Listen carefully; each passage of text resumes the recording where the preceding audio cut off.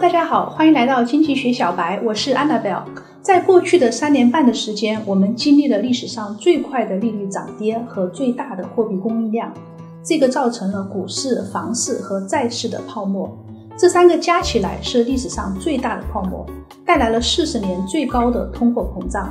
美联储去年开始执行货币紧缩，我会给出一些数据，然后我会告诉大家，我个人认为今年下半年的经济走势。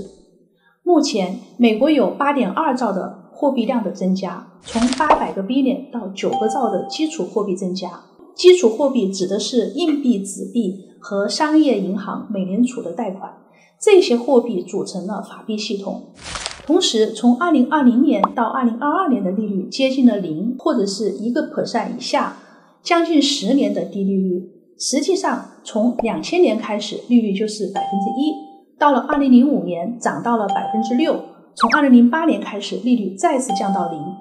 当货币增加和利率超低的时候，就会出现各种泡沫，比如股市泡沫、房市泡沫。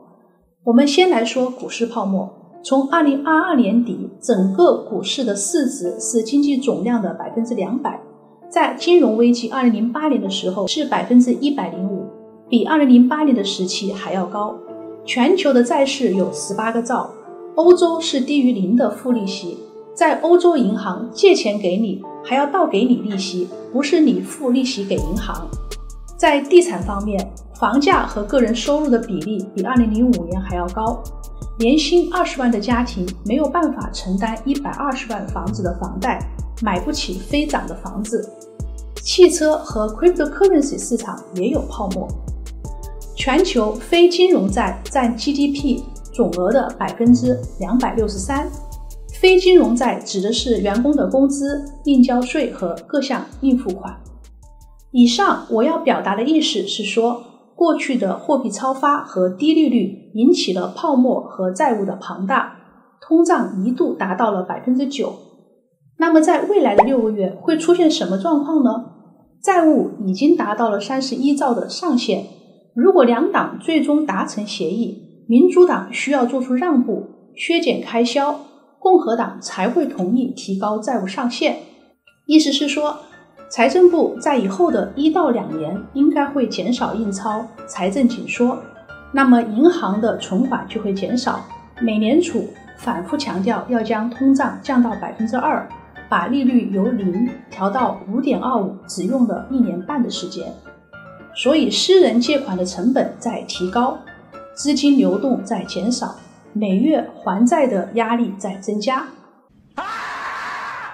比如，在车贷、房贷和信用卡债可能会出现逾期或者是违约。在欧洲国家的利率也在涨，我刚才有说过，他们比美国还要离谱，贷款利率是负利息。欧洲银行是三到五年的浮动利率，所以当欧洲银行的利率涨的时候，每个月的房贷和车贷也在成倍的增加，所以欧洲的信贷市场会比美国更糟糕。在债券市场，三十年的长期国债利率是三点八，一年的 T bill 是短期国债是五点二，债券市场的收益率出现了严重的倒挂。我借钱给你三十年，我的利息一定要比借给你一年的要高，因为时间越长，我的风险就会越高。但是在美国国债市场，一年的 T bill 收益率比三十年的要高百分之一点四，市场已经出现非常明显的警告，未来经济不乐观，美联储将会降息。银行方面，投资人会把钱从银行转出来去买一年的短期国债。商业银行会失去很多的储户，更多的银行将会倒闭或者会被收购。再来看股市，当钱流入了短期国债，股市里投资的资金也会减少，股价还会跌。通货膨胀方面，我看会持续在百分之四左右，很难降下来。原因是因为工资并没有降，因为到了年龄退休和提前退休的人比参加工作的人要多。劳工市场缺少年轻的劳动力，失业率才百分之三点七，很低。在租房市场依然很强，房租一直没有降，服务行业的价格也没有变低，比如在维修、培训和顾问行业。美联储的通胀目标是百分之二，因为通胀下不来，美联储会一直维持高利率到今年的年底。他们希望失业率变高，工资下降。所以，综合各个方面的数据，我预测物价会维持在高位，下半年的经济会进入衰退，然后美联储可能会在明年的年中开始降利息，刺激经济。我真的很不喜欢政府过多的参与经济，控制利率。最后，以我最尊敬的经济学家 Frederick Hayek 的话收尾：所有的政治理论都假设大多数的个体是无知的。